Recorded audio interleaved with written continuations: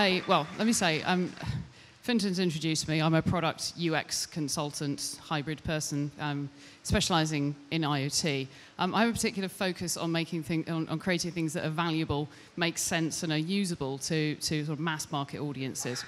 Um, now, I've been recently researching failures in IoT from a user perspective. Um, now, I, I kind of have a sense that perhaps I'm the third person to be, to be starting to talk about this today, so I apologize for any repetition.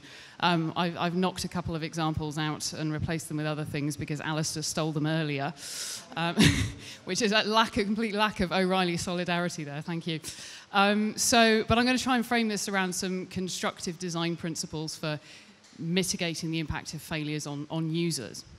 Okay, so, and I'm not going to be talking about security uh, or privacy, um, both hugely important issues, um, or even things of kind of dubious ethics that perhaps you know function as expected, but but perhaps cause harm to particular social groups, because that, that's also quite an important category of, of failure. But that's a topic for a beer if you want to talk to me. Want to talk to me later.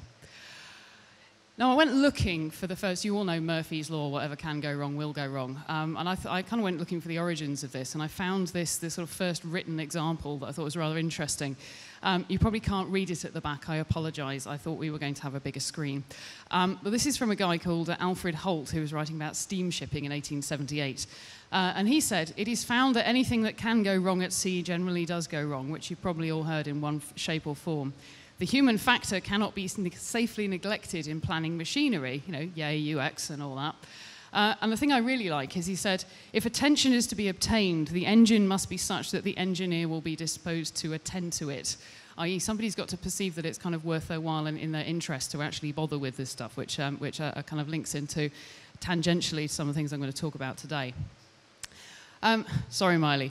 Um, but the, the, the, the, essential problem with failure in, in IoT is that it's giving us, in putting physical, putting computing in the physical world, um, really gives us more and more ways in which software can act on the physical world and vice versa. You know, yay, that's brilliant.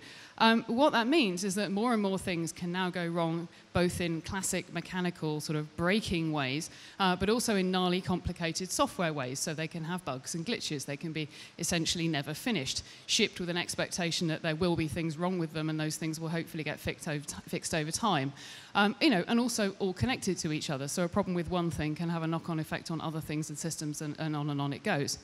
Um, so essentially, in a way, we've, we've really made things difficult for ourselves and they're kind of given us the both, worst of both worlds.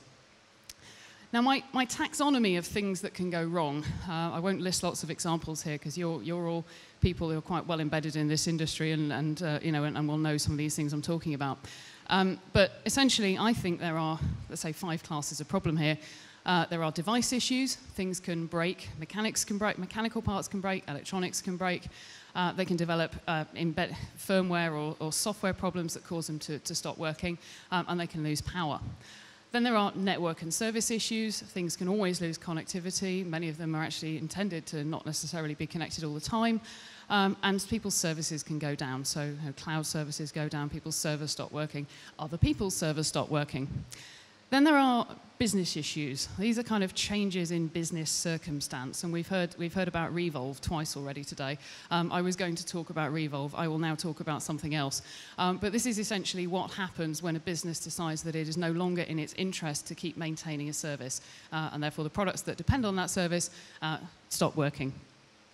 Then there are user issues. People make mistakes, uh, genuine mistakes. Sometimes they do very reckless or stupid things like flying drones near power lines or airports, that kind of stuff. There's a human factor in here, and to a certain extent, we have to try and anticipate these, uh, anticipate these things and deal with them.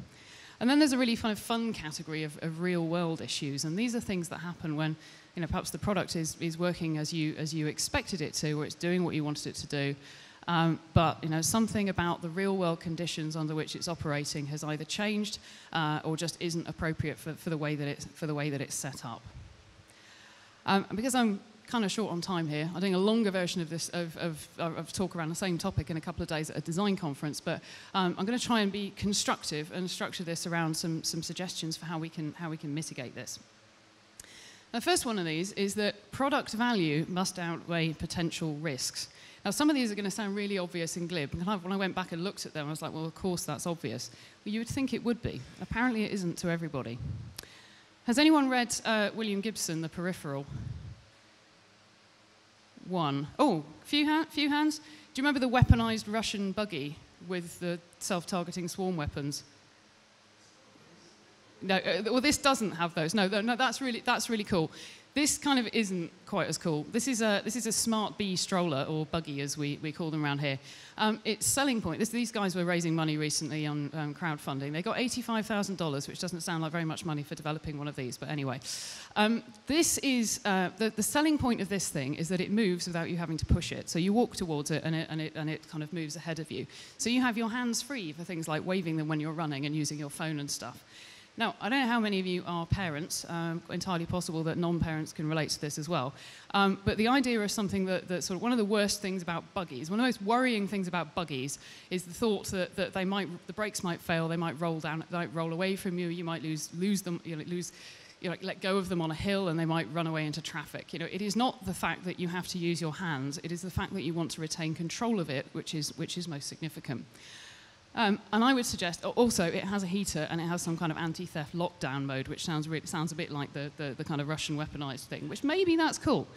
But I think the, the point for me, and I might, I don't know, maybe this is just me, but the point here is that the marginal benefit of this thing, of not being able to, of not have, having to being able to have your hands free, is far outweighed for me by the risk that this thing is going to run away. And if I run towards it, it's going to move further and further away from me. And that's just, you know, I don't think $85,000 is, is going to be enough money to, to, uh, to uh, tackle all those safety problems. So the second one, um, and this again is beginning to feel like a bit of an IoT hoary old cliche to me, um, is around designing systems to tolerate lost connectivity. I'm sure many of you technical people have thought about this um, in many situations. Um, and I left PetNet in here because I think this is, this is, this is quite, a, quite a, a crazy example. Um, if you have a product which, and people are used to, particularly in consumer setting, people are used to having a sort of ancestor of that product that's not connected, and you make a connected thing that can fail in worse ways than the non-connected thing, that's not going to fly, I don't think.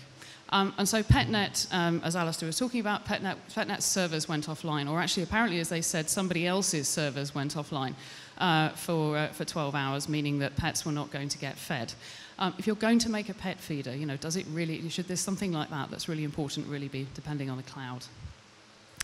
Um, and the other thing, and I, I borrowed this example from Stacey's podcast. Thank you, Stacey. Um, this, is the, this is the idea around designing for intermittent connectivity. Now, you know, we're all familiar with things like smart meters that, you know, may, if they can't always connect to send data, will will buffer it and send it later. Um, what I think is quite nice about this uh, about this Brita Infinity jug, and it's it's not you know this is not a life-changing product, but it's quite it's quite an elegant little piece of thought that's gone into this. Um, it doesn't try and connect. What it, what it does, sorry, is, is kind of track your usage of filters and, and, and automatically order replacements via, via Amazon Dash. Um, but what it does is it doesn't sort of sit there trying to connect and send data, you know, all the time. Most people keep things like this in a fridge, which is a big metal box in your kitchen. Imagine most of you know that the chances of getting a radio signal through a big metal box are, are not brilliant. Um, so it connects and sends data when you fill it, which is also, you know, indicates when it's empty, when you want to be carrying on using it. Um, you know, and, uh, and it's out of the, you know, it's out of the fridge and you've tipped it up and there, there, are lots of ways they could, several ways they could be sensing that. So that's kind of just an elegant use of, of that. Um, another one, I like to, I do like to bang on about this. I probably banged on about it at ThingMonk last year, and probably, probably the time I spoke before that. Um, and Haiyan talked a little bit about this as well. The idea that sort of what seem like small differences in responsiveness can have a massive impact on user experience. Um, and I want to talk about um, appropriate and inappropriate latency here. Um, responsiveness of a product, whether that's the time between you, essentially the time between you asking it to do something and it responding, uh, and, you know, and the amount, also the amount of feedback that you get that it's happening is, is not just a user experience issue. Sometimes it's a kind of fit for purpose, kind of product value issue. Um, this is a, this is a, a ring doorbell, um, and uh, I am reliably informed that these things, at least in their first version, took about 20 to 30 seconds to uh, connect to the network and then connect to the cloud service in order to pass a message to the, to the, to the, to the owner to tell them there was someone at the door. Now, 20 or 30 seconds, if someone comes to your door and presses on the buzzer, particularly if they're a courier who's got places to be and kind of needs to get off to the next thing, is long enough for them to think that you're out, for them to give up, which is kind of really defeats the object of, of bothering to have a connected doorbell. So I know it's hard, it can be very difficult. We don't always know how long it's going to take to get a message across a network, but making things work quickly and giving people good feedback that they're actually that they are actually working and they just need a bit more time um, is really, really important. Um, the next one is about defaulting to a safe state. If you're going to fail, at least fail in a way that doesn't cause put user in danger. Uh, now, as I said, this is going to be totally impossible for you to read. I apologise, but this is a, a, really nice example I found of someone who is, who is, who is hacking together her own artificial pancreas to manage her diabetes. Um, and this is uh, what she's, she's taken a lot of um, thought quite hard about what happens if some, the data that the, that the insulin pump receives, if some of those data points are missing, or if it lost connectivity to some of the other devices, and how it should behave in those circumstances. Um, and what it does, if it, if it thinks it's, if it's not got a connection, if it thinks it's missing something, is just maintain a safe baseline um, insulin rate rather than try to deliver higher doses and in, in, you know, to manage meal consumption and, and, and that kind of thing. Um, on the other one, um, and I'm just going to let the Nest Protect speak for itself on this, but there must always be a manual override. There's smoke in the master bedroom. Emergency. This alarm can't be hushed. This alarm can't. Emergency. Can't be hushed here. That video goes on for five minutes. now, in terms of managing user issues, I seem to have un- uh, skipped past this. Um, so the other thing is about really, really understanding the context of use, and this is a thing that UX people will tell you all the time. And again, it's one of those things that you know we say so much, we, we you know we worry about it being a cliche. But it's obviously particularly true when you've got things that are in the world, things that are experienced as part of the world, and not just kind of you know something that's happening on a screen over here. Do you know the poopocalypse? Yeah. Um, I, I, was certain someone else was going to mention that today, but you know, yes, okay. Um, so this is, a, this is a Roomba that ran over a dog poo. Um, and in its attempt to clean up the dog poo, it went backwards and forwards and backwards and forwards and all over the house and basically kind of like spread poo around this guy's entire house. Um, and iRobot have apparently admitted that this happens quite regularly. Um, so if anybody knows a good way to put a sensor onto a Roomba that can detect poo um, and cause it to stop before it's made it worse, then that would be brilliant. You should get in touch with them. But what this comes up, and this is just an example really of, of changes in real world circumstances um, that affect that your, your, your product is doing its best to do what, it, what it's supposed to do. Um, but due to some unforeseen change in the real world, um, you know, actually the results are disastrous.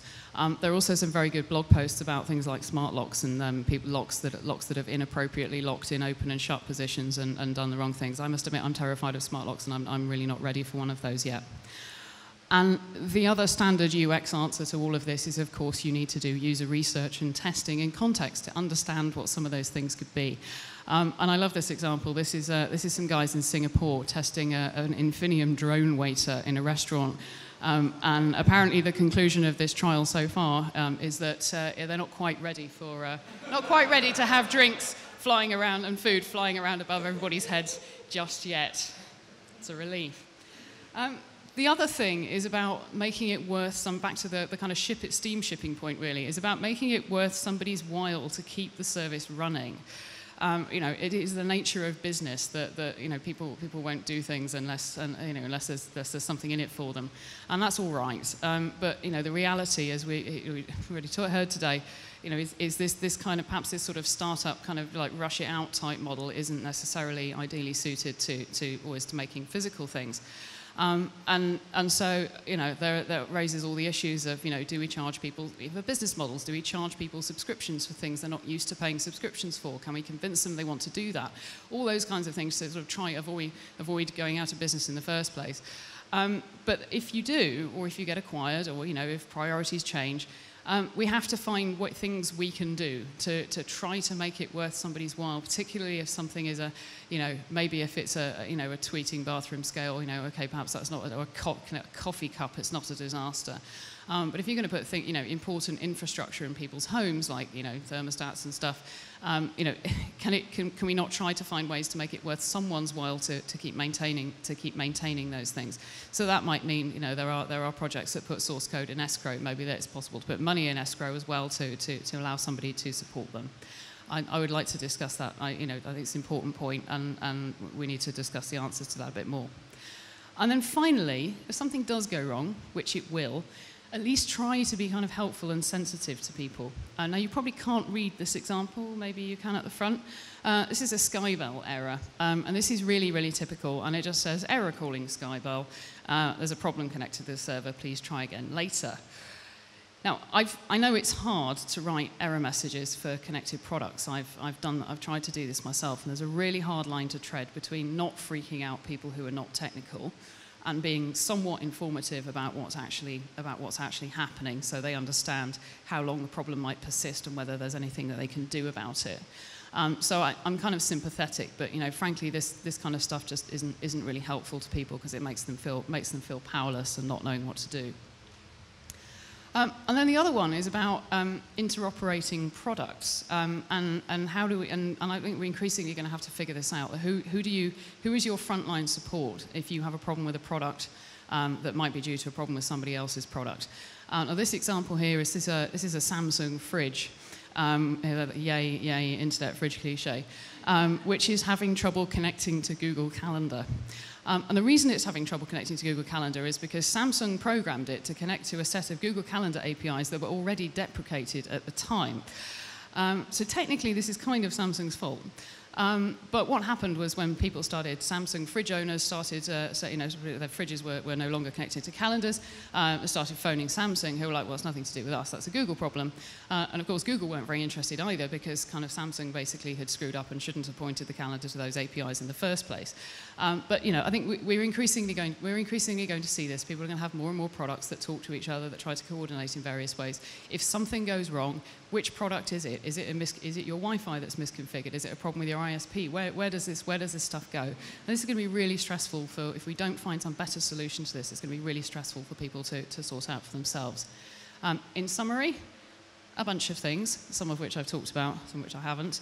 Um, what I really wanted to get to was, um, as, as Fintan said, I wrote a book, Um, it's been out for a year and a half now. Um, some of the examples, uh, you know, we you, you, some of the examples may have dated a little, but I think the fundamental principles are still pretty sound. Um, if you would like one, I have three to give away. Um, please tweet me. You can say, I want a book. If you have the ThingMonk hashtag, you get extra brownie points. Uh, and the first three of those I get will, uh, will win one. Thank you very much.